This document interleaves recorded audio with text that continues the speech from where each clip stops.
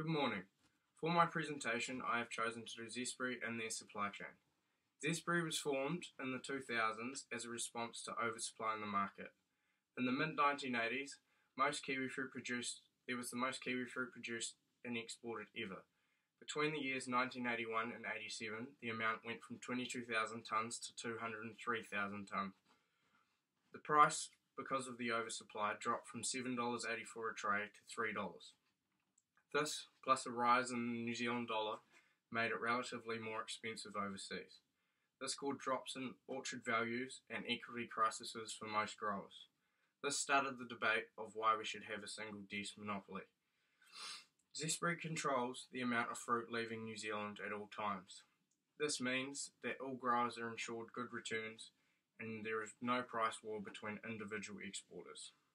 The varieties they offer are green, sweet green, sun gold, and gold, with organic variations in green and sun gold.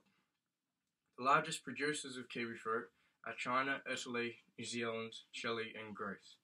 Our largest export markets are South Korea, Brazil, Indonesia, India, Malaysia, and Thailand. This is my supply chain diagram, which shows the supply chain broken down into five steps growing, harvesting, logistics, marketing, and retailing. Within growing, there is PSA, a disease which kills the kiwi fruit vines and is very contagious. This means it can be spread between just shoes going from orchard to orchard and orchard equipment. The next one is residue limits. These are put in place by Zespri Crop Protection Standard to ensure that all fruit is safe to eat and there's not too many chemicals on it. Harvesting, there is dry matter. This means that the taste of each kiwi fruit is consistent. It needs to have the right Brix level before it's harvested. Health and safety is put in place by the New Zealand Government in every workplace in order to keep all workers safe at all times. Within logistics, there is shipping, which dictates how it is packed and the temperature that is needed for it to still be fresh when it reaches the export market.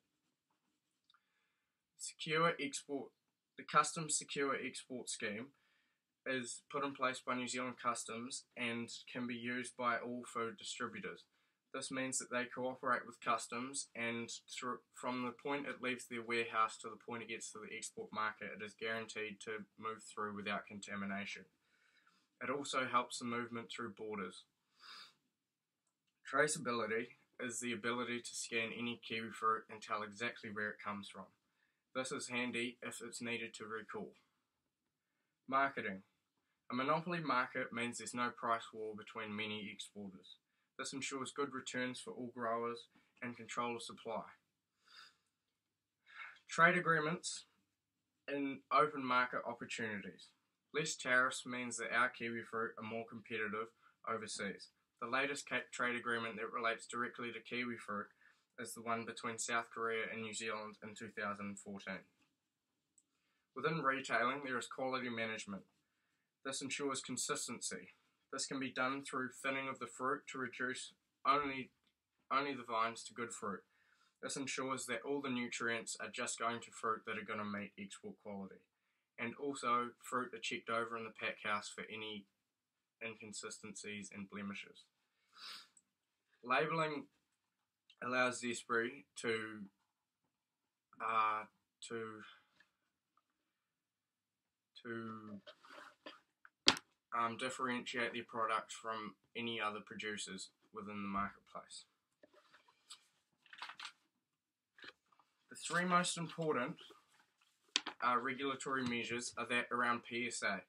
This is because PSA almost wiped out New Zealand's entire kiwi fruit industry, which is worth $1.2 billion. It affects the plant health and not the actual kiwi fruit.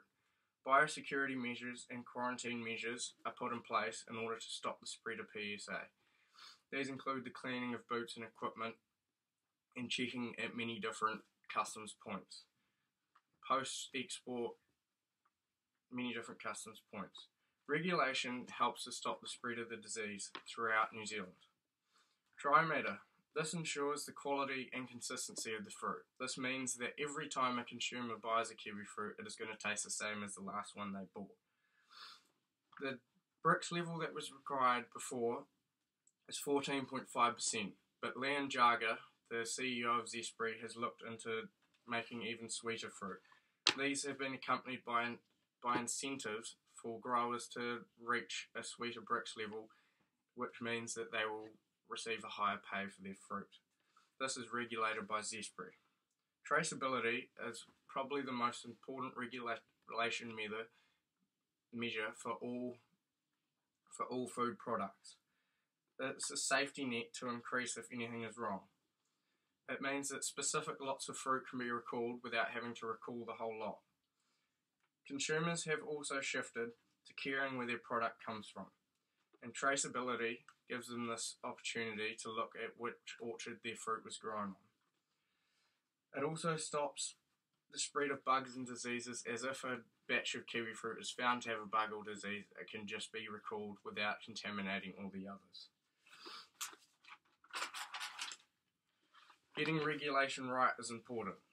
It's ensuring that there is enough regulation, but not so strict that it is debilitating to growers, and most importantly, that consumers are safe. Why do we regulate? To ensure consumers have safe food to consume at all times. The system and ensure that the system isn't cheated by people looking just to make a quick dollar. It is also to protect all growers from negative impacts throughout the supply chain. The impacts of regulation mean all consumers have a safe and reliable food source at all times. Producers must take responsibility for their actions also. In conclusion, I have broken the supply chain of Zespri's kiwi fruit into five key steps with at least two regulation measures in each. These five steps describe regulations right from the fruitlet to the ripened kiwi fruit on the end shelf. Thank you.